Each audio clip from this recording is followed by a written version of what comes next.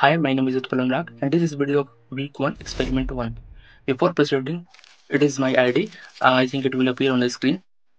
So now come back to the topic. I have divided this experiment into three steps.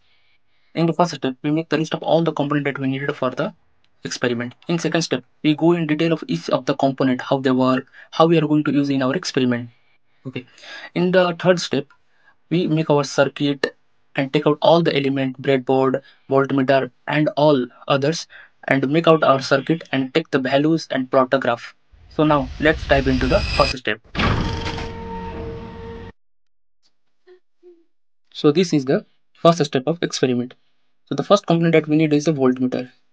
We are using it to measure resist resistance and voltages in the experiment now the second component that we use is IC7400. It has four NAND gate, but we are using only one in this experiment. The third device is the trim pot.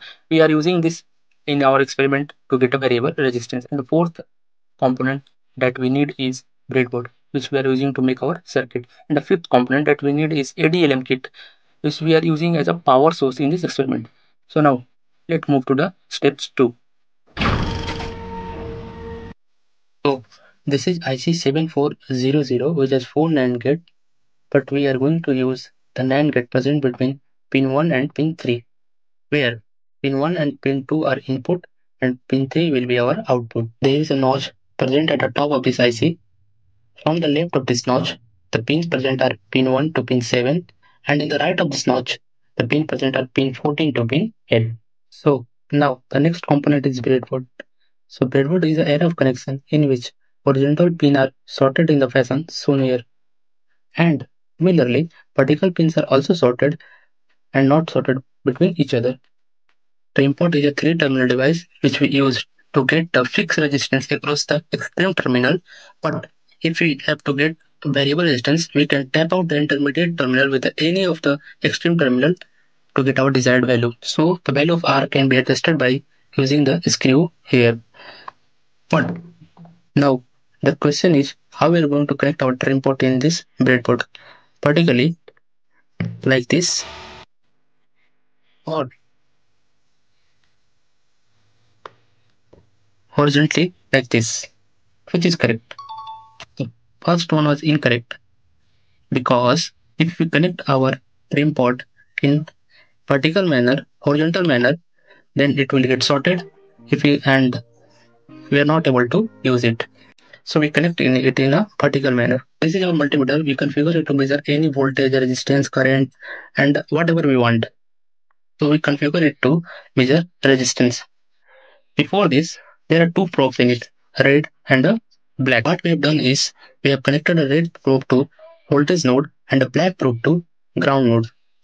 And now we connect this to our extreme terminal of trim pot and configure it to measure resistance.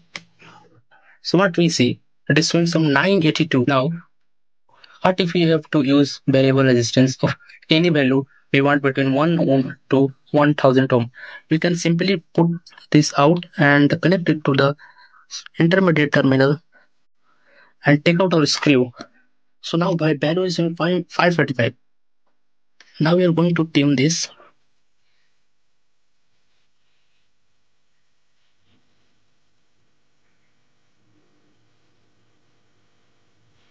When you tune it clockwise direction, the value goes down and when we tune it in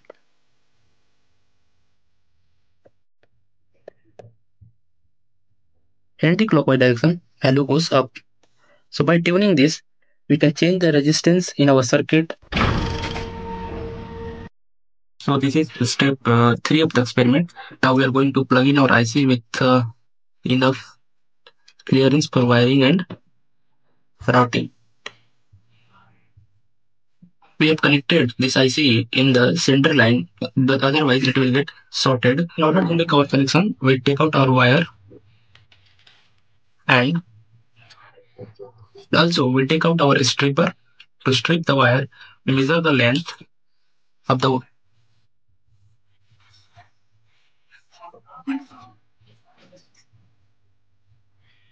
we measure the length and cut it skip the both ends. We have connected pin 14 to the VCC and pin 7 to the ground. So for convention, we have taken a red wire as VCC and a blue wire as ground. And uh, now we connect our trim in this circuit.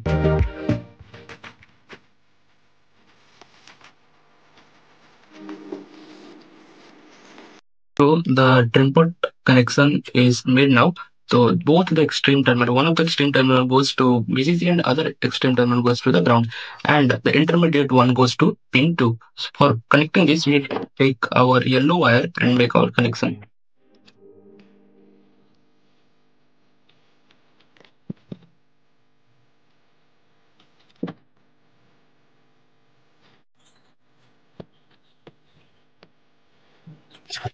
Intermediate is connected to pin 2. Now the last thing we have to do is to we have to make the connection of pin 1 to the VCC. So measure the length of the wire we need.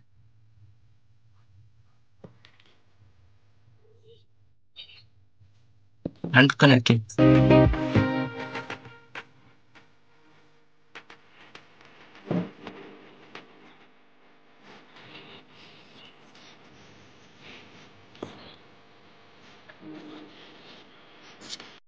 Before proceeding in the experiment, we have to check the continuity of uh, our connection.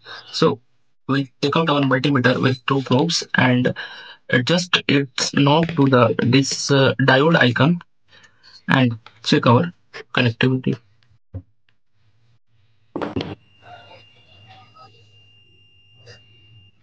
So we can hear a beep sound here. It means it is correct. Now we, we check our uh, pin 14 connection.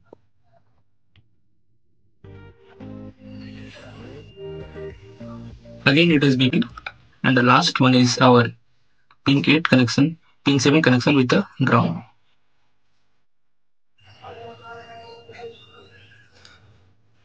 yeah all fine and uh, now we can proceed in our experiment so now we have connected our uh, 5 volt uh, and the ground to this uh, breadboard and uh, we have connected this red probe to pin 2 which is also the input and uh, this black probe to the ground of this circuit.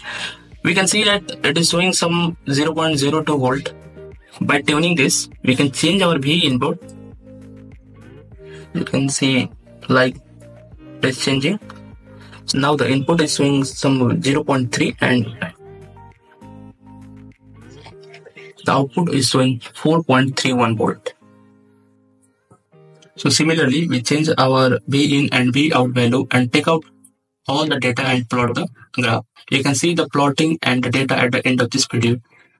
Thank you